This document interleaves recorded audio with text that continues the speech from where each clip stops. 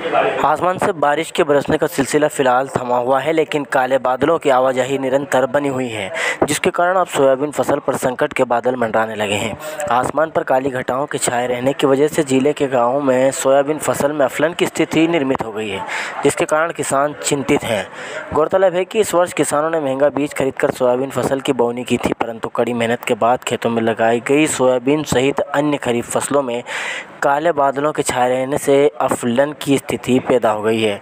फ़सल में अफलन होने से परेशान ग्राम मेहंदी और दास्ता खेड़ी के दर्जनों किसान बुधवार को कलेक्टर कार्यालय पहुँचे और यहाँ कलेक्टर दिनेश जैन को ज्ञापन सौंपकर फ़सल में हुए नुकसान का सर्वे कराए जाने की मांग की। किसानों ने बताया कि सूरज के समय पर नहीं निकलने और आसमान पर काले बादलों के जमे रहने से फ़सल में अफलन हो गई है और इस वजह से फ़सल में फूल फलियाँ नहीं आई हैं। इसके साथ ही पत्तों को भी इल्लियाँ चेट करना शुरू कर दिया है।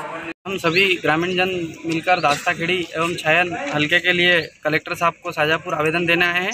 इसमें हमारी जो फ़सल है यह आफलन रह चुकी है इसमें अब श्रीमान जी से निवेदन है पंचायत मेहंदी पटवारी हल्का क्रमांक उनपचास, सोयाबीन की फ़सल में सौ प्रतिशत आफलन की शिकायत है, जो कि किसानों की चिंता का विषय है। श्रीमान जी से निवेदन है कि किसानों की फ़सल के नुकसान का आकलन सर्वे द्वारा करवाया जाए।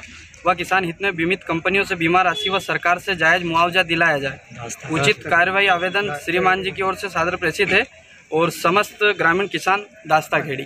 अभी कलेक्टर कलेक्टर साहब के पास हम अभी गए तो कलेक्टर साहब ने हमें आश्वासन दिया है कि आप जिस जिस भी बैंक से आपका बीमा कटा है वहाँ पर आप जाएँ और उससे क्लेम करवाएँ और क्लेम आपको वहाँ से ही मिल पाएगा।